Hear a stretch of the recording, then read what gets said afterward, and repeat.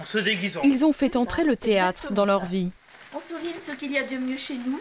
Une fossette, de longs cils, Des hanches rondes, Une barbe faussement négligée. des cheveux qui volent dès qu'on se secoue la tête. On est vraiment pas mal là. Ces comédiens sont des habitants de Saint-Priest. Ils participent à la pièce montée par le théâtre Théo Argence et la compagnie Ariane.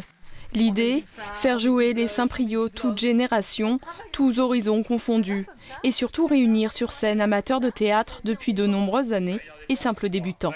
Si vous voulez m'aider, occupez-vous de la vaisselle. Le théâtre, euh, finalement, c'était euh, euh, quelque chose qui m'intéressait, mais il y avait beaucoup d'inconnus. On a l'impression qu'on peut se lâcher plus et qu'il y a plus de choses euh, possibles sur, sur scène.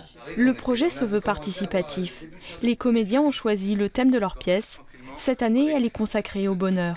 Le texte a même spécialement été écrit pour eux. C'est totalement original, totalement inédit. On n'a pas, on se colle pas à quelque chose qui a déjà existé avant que nous on le fasse vivre. C'est, je trouve ça magique. Voilà. Les acteurs sont dirigés par un comédien professionnel. Depuis 4 ans, Stéphane Doblin travaille avec des amateurs. Euh, fais ça, on fait ça. On prépare les cruches, elles sont là, les cruches. Pareil, tu t'embêtes là, elles sont là, les cruches, tu les prends pas. On apprend aussi que il n'y a pas qu'une façon euh, de travailler un texte, de faire du, du jeu et de faire du vivant. Que parfois c'est très cérébral dans notre euh, façon, dans, dans- dans nos approches du jeu, et que là euh, et c'est bien moins cérébral, et- mais souvent bien plus vivant. Enfants, adolescents et adultes se partageront la scène le 17 juin prochain.